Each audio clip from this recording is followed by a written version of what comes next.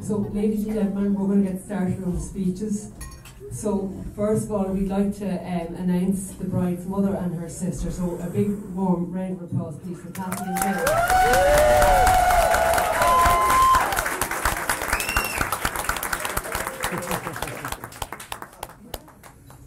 Just welcome everyone and thank you so much for coming to make Sherwin and Laura's Day such a memorable one. It's been a smashing day. Just like to say a little bit about Laura.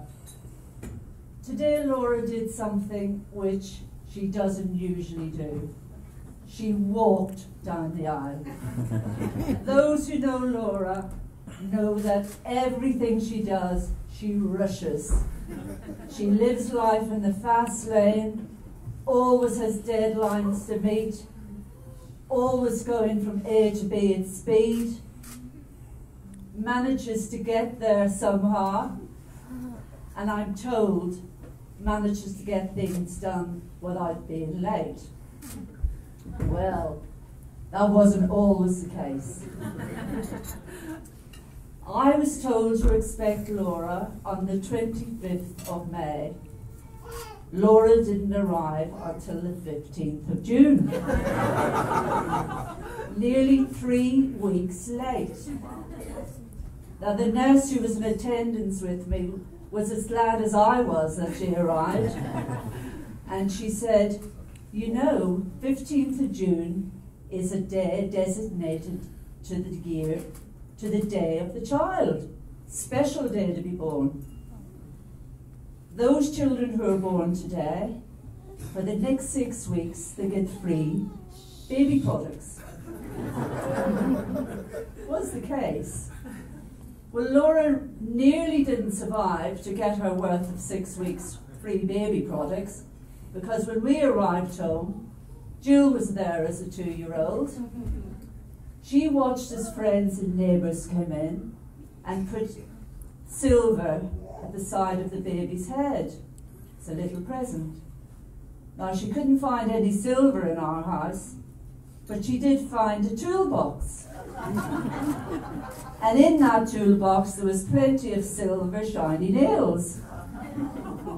And the next time I saw Laura as a three or four week year old baby, she, her head was surrounded by large silver nails. well, she did survive. And those who remember the young Laura will probably say things like, oh, she was pretty, she was sweet, she was gentle, wasn't really given to tantrums. But those who knew her very well and watched her play with her friends on her skates, her bike, at her dancing, or at her horse riding, saw the competitive streak in Laura. She was determined that if anybody could do a manoeuvre, whatever it was, she would keep going until she could do it too, or maybe even better. But she wasn't really a willful child, but she had ways of doing things that was difficult to change. Laura didn't like sweets or chocolate as a child, but she loved Pullmans. So that's what she had. She didn't like desserts or ice cream, but loved strong cheese, especially Stilton. So that's what she ate. She didn't really like me reading her stories, but loved to listen to those stories on an audio tape. And Laura and her Fisher Price cassette were seldom parted. She hated going swimming in the children's pool. So the little area where you wash your feet was her private swimming pool for a long time, and she wouldn't shift. But the one thing that Laura really did love was her trips to Ireland every year. She came to visit my family and to stay with her granny and granddad. And it was during these visits that Laura's love of shopping for a bargain was lost. Most days, her and her granny went to the middle, the centre of, of Newry where we lived, and they never got much further than a shop that wasn't renowned for quality, but quantity was there, and you got a lot of things very cheap, and Laura loved that. With the help of her granny, every year she piled my case with cheap pencil cases, cheap colouring books, cheap pens, cheap pencils, and we returned to England and cluttered the house every year with all these cheap things. And to this day, Laura loves shopping for a bargain. And in fact, I believe that her and Sherwin can now be seen pushing a trolley around Lidl's.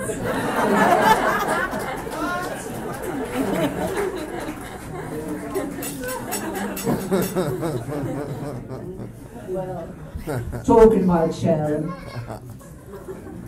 I felt I knew a lot about Sherwin before I actually met him because Laura did a lot of talking about him. And I thought, well, I hope I do like this person because she certainly likes him.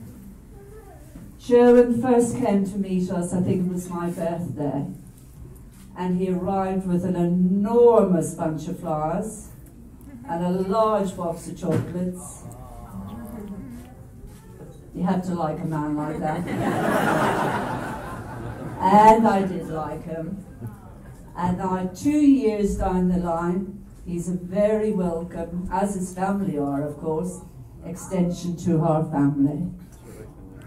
Mind you, of late, I've noticed that anything that Sherwin doesn't like in his house, but doesn't know what to do with it. He arrives round to my house and presents it to me as if it's a present. so I might change my mind about Sherwin. Jill's going to talk a little bit more.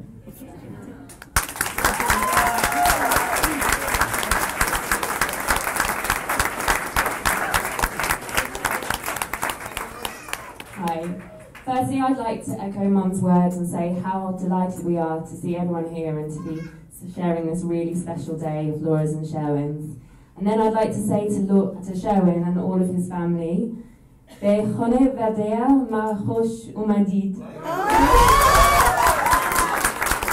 Which I really, really hope means we're delighted to welcome you all to our family. That's it. Beautiful. Thank you. Um, and then I'd just like to say a few words of my own about Laura. So the first thing I'd like to tell you about Laura is she really is the most incredible sister.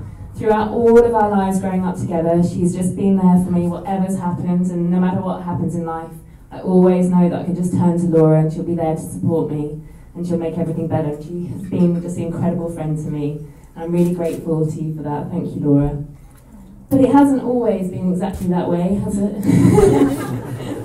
um, no, that's not true. But when we were when we were children, um, Laura was always the perfect, the angelic-looking little girl that everyone said, "Oh, she's a joy to look after, and she's so well behaved." And I was often the naughtier one that would get into trouble from time to time. And that would be something that Laura would often try um, to use for her best advantage. So. There was um, there was one time when we were both children. I think it must be in the early '80s, and Mum had just got this new um, slow cooker, which is her prized possession, and it was sitting in pride of place in the kitchen. And Laura sneaked in there with a black felt pen and drew pictures all the way over it. And so Mum's pride of joy just covered in black felt pen. And Mum came in and looked at it in horror, looked at me, grabbed a hairbrush and chased me around the house. and I said, it wasn't me. And Laura just looked on like nothing had happened. no, that doesn't happen now. Um, but I think that just um, illustrates the fact that um, ever since we were children, um, myself and mum and anyone who knows Laura well knows never to underestimate her because she truly is, despite in, beneath the sweet and the kind exterior, she really is the kind, the strongest and the most determined person that you're ever going to meet. I think that um, one of the best illustrations of the way that she ought to always strive to be her best is um, when she had Kira, when Kira was born. Laura was determined that she was going to be the best mum that she could be and to throw herself into motherhood. But she was also determined that she was going to carry on with her studies and she was going to go straight through to university. Um, and she did, and she carried on and she got her degree and she got a first, and we were all incredibly proud of her for that. Um, but we also incredibly proud of the fact that Kira's now grown up into being this lovely young woman that we are so proud of ourselves, and I know that you'd agree that that's no small effort um, down to the efforts of your mum. Um,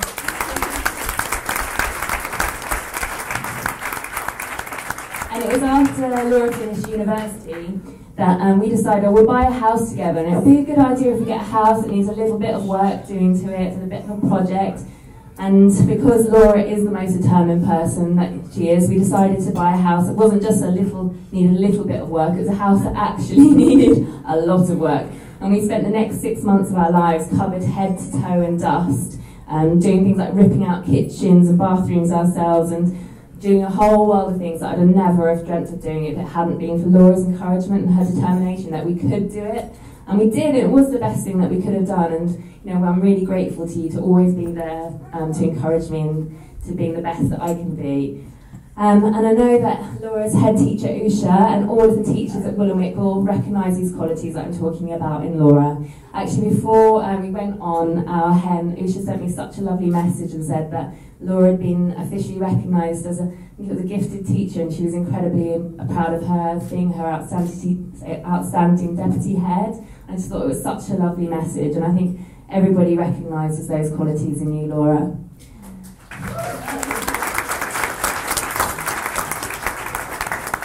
Finally, I'd just like to end by saying that throughout all of our years growing up and all the brilliant times that we've had together and all of the fun that we've had, and there's been lots, I genuinely, hand on heart, can say that the happiest that I've seen Laura is when she's met Sherwin.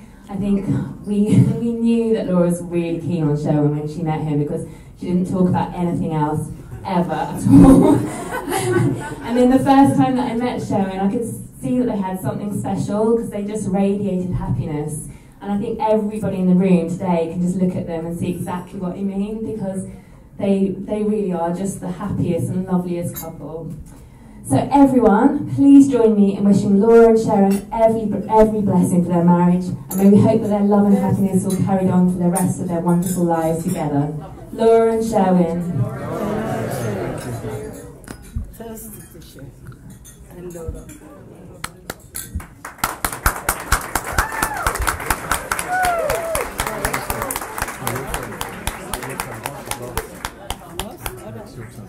Now, ladies and gentlemen, I'd now like to pass over to Sherwin, and a big, huge round of applause, please, for Jarna.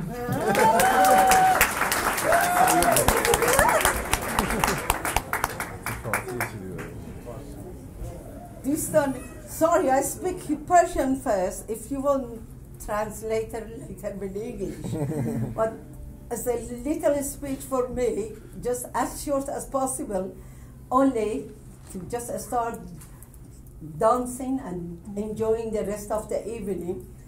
As a mother tonight is my best time of my life.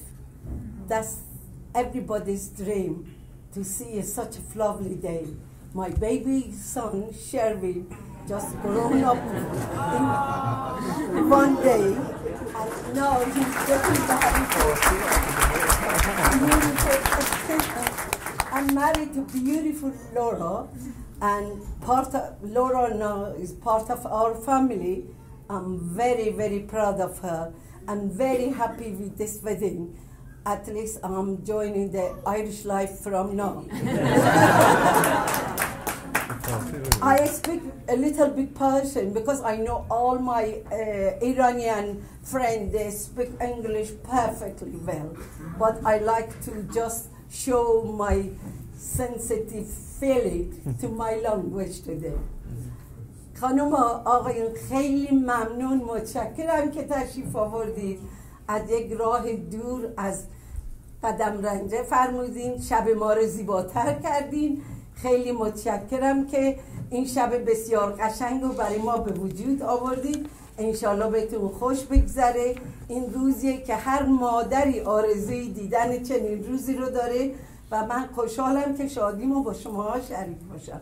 قرار نبود من صحبت کنم من از قلبم صحبت می‌کنم. تو شری هن آره. آره.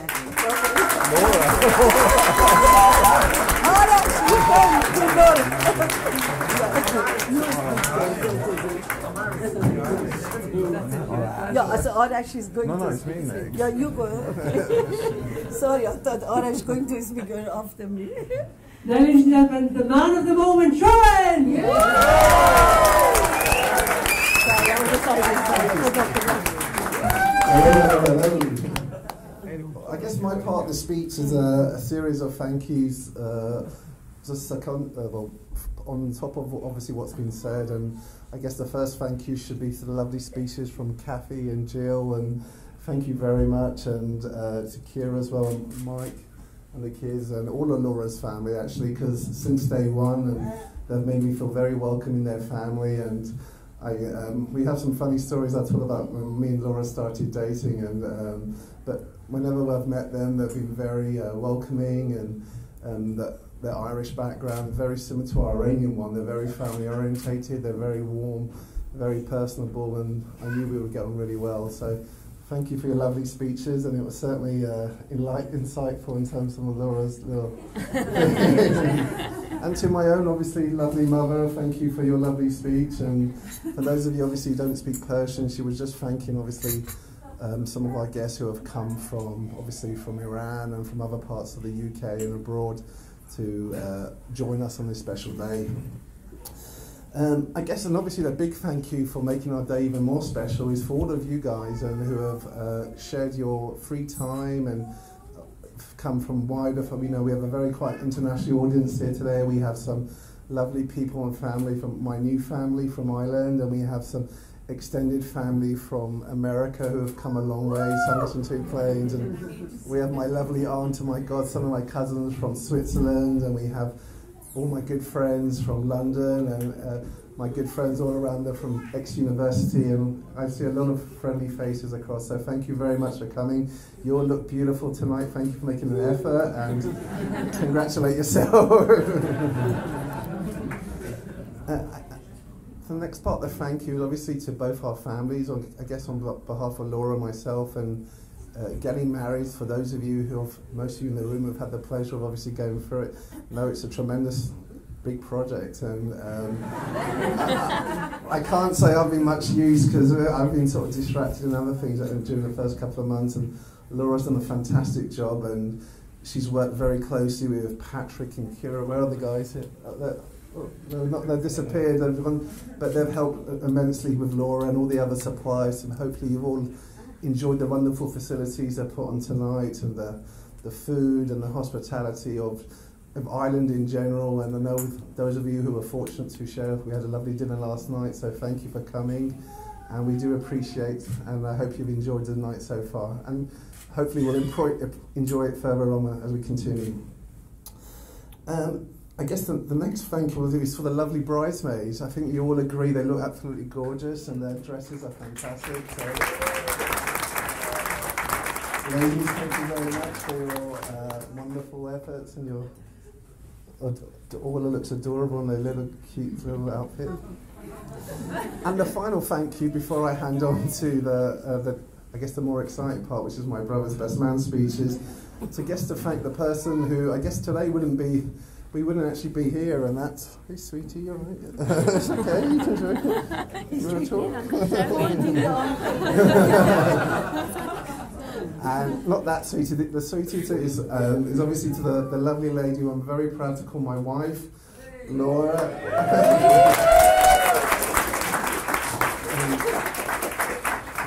Laura and I have actually only been dating, well, uh, probably two years now, and I remember when we first started, um, Laura's mum is exactly right. uh, Kathy was, she doesn't do things by fault, and on our second date, she said, just come meet some of my friends. Those friends were her sister and a lovely Mike, her, her brother-in-law. Okay. so that was, and then Laura actually sat through the whole meal and didn't say anything. So I think she was more nervous than I was, but uh, I thought she got through that. I think the third date was meeting her mother. So, okay, so, yeah. so I knew hopefully she likes me, and I think we'll go on. But truly, she's a, a wonderful person. She's very generous with her time, her she's very sensitive, and she hopefully has. Well, I, it's weird because when I uh, first started dating Laura, my good friends, I think they're at the back, Steve, Nick, and Claire, who uh, I, I was working with at Merrill Lynch at the time, were sort of they were sort of listening to my date stories and I was taking them, you know, how we got on, and they were sort of giving me advice because they've obviously been through it and they've got lovely partners and wives who they've brought with them today. So thanks for coming, guys. And and I was telling them, I said, what do you think? Do you think this is a good, a good thing? And Claire specifically, where are you, Claire? So Claire was very supportive and as was Steve and Nick, and say yes. And, and, I think I don't know if you did you meet them. I think you met them fairly on in our relationship. So yeah, so they were very well. So they were, and but generally speaking, I think we've had a wonderful two years, and I look forward to spending many, many, many more years together. We've just bought a lovely house and. Things are moving in the right direction, so thank you, my darling, and I look forward to spending the next 50 plus years with you together.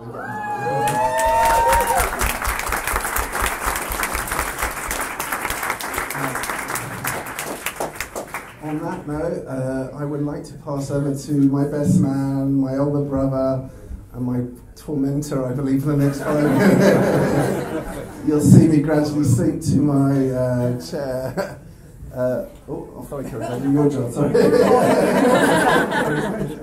Uh, if you would like to give a, a round of applause, please, for my brother and the best man, Mr.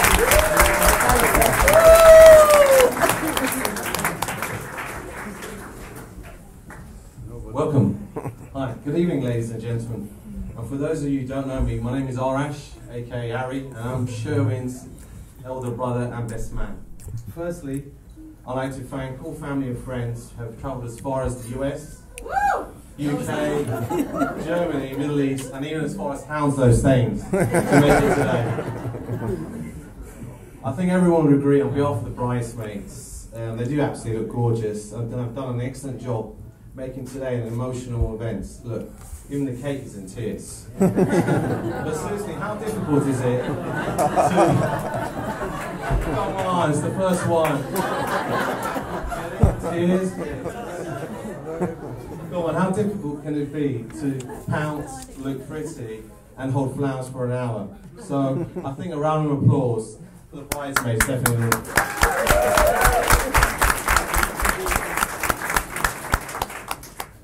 Laura, I think everyone will agree with me to say today you look absolutely stunning. What a wonderful, caring, kind, and beautiful woman you are.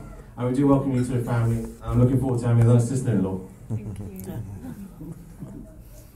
Now, for those of you who don't know my brother, right, Chev was is a person who really was ambitious, hardworking, and he wanted to achieve. In his 20s, early 30s, he went from owning Porsches to Aston Martins and living in a luxury flat in Stanmore Hill. Since then, things have really gone up for him. He drives a 12 year old Mini and lives in Stevenage. However, with a woman in his life, he's now the proud owner of 26 luxury cushions, matching bath mats, towels, and a pair of oven gloves. Laura, I did agree to not embarrass Chev tonight, so I will behave. But to prevent any further embarrassment, Chev, and Mum was right in the church. I've got to say this, your fries have been undone since the start of the ceremony.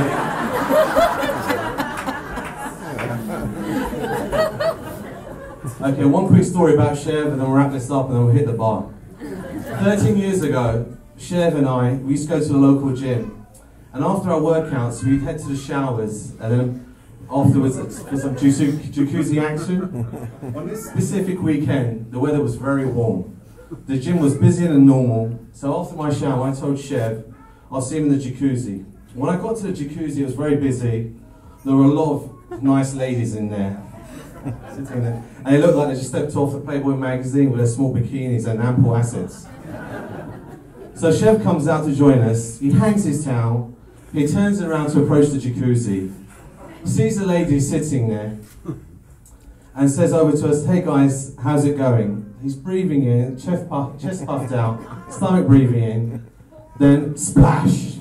Chev falls in head first into the jacuzzi, so, soaking everyone in the process. We're all sitting there absolutely soaked. The lifeguard across the pool was in stitches. He said, never had to rescue anyone from a jacuzzi before. But and Laura, if I have to give you some word of advice about a successful marriage, there's three key themes here. The three things, without a doubt, that makes a great marriage is a good sense of humour, patience, and Chev, selective hearing. but joking aside, I want to take this moment to say what privilege it is to be your best man. I can assure you that the whole family is proud of you, Chev, and we're thrilled to see you marrying a beautiful bride, Laura, today. Ladies and gentlemen, it now gives me immense pleasure to invite you all to stand once more, raise your glasses to a toast to Chev and Laura, to a lifetime of love and happiness, the bride and groom.